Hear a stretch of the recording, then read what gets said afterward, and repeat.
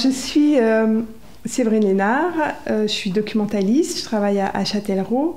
Euh, je suis investie dans la commission environnement et ressources, une commission très importante puisque Ozon 2020, c'est une liste écologique, sociale, citoyenne et solidaire.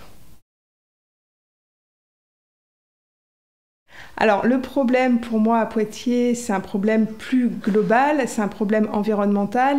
Le réchauffement climatique, c'est plus de la science-fiction.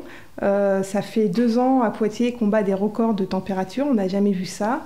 Et donc il faut prendre la mesure et on ne peut pas faire une politique euh, juste accessoire sur l'écologie, mais vraiment radicale et ambitieuse. Et donc, euh, le problème, par exemple, sur, le, sur les aménagements urbains, il y a beaucoup, beaucoup de, de minéral, très peu de végétal.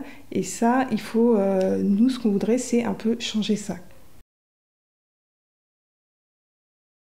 Ça va être vraiment un engagement sur la végétalisation de la ville et la débétonisation de la ville, c'est-à-dire qu'il faut euh, que l'eau puisse circuler, il faut que l'air puisse circuler, il faut que les animaux puissent circuler, et donc tout ça, c'est des continuités écologiques importantes. On a décidé que on allait planter un arbre par habitant sur le mandat, ça fait 90 000 arbres, ça fait une augmentation du périmètre euh, forestier de 4%, donc c'est quelque chose d'énorme, et on sait que l'arbre est une des solutions au réchauffement climatique.